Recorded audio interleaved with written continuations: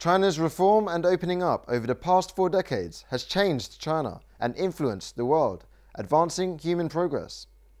Chinese President Xi Jinping talked about the progress at a gathering on Tuesday celebrating the 40th anniversary of reform and opening up. President Xi noted the contribution to human development in poverty reduction and livelihood improvement over the past 40 years of reform and opening up. He said China has bid farewell to the problems that plagued its people for thousands of years, including hunger, shortage, and poverty. He also listed some figures which demonstrate the changes. From 1978 to 2017, China lifted 740 million people out of poverty, equivalent to nearly 19 million people each year. This means that during this time, China alone contributed to over 70% of global poverty alleviation work. The last 40 years have seen Chinese people's per capita disposable income rise from 171 yuan, around 25 US dollars, to 26,000 yuan, around 3,800 US dollars.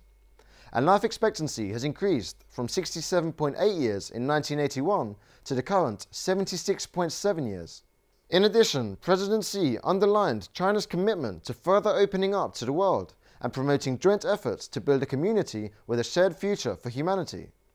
Over the past four decades, China has also benefited consumers worldwide through its participation in economic globalization. The global value chain would not be the same if there were no reform and opening up in China. Today, as the reform and opening up deepens, China is a significant market for countries around the world. It has a middle income population of 400 million, which is still expanding and has a growing appetite for quality products from around the world. Through reform and opening up, China has explored and found a unique path of economic development, and this has also created an alternative for other developing countries. Justin Yifu Lin, a former World Bank chief economist, said China's growth model is more relevant to developing countries than once prescribed by the industrialized West. This is because China's model derives from the experience of a developing country and suits the needs of the developing world.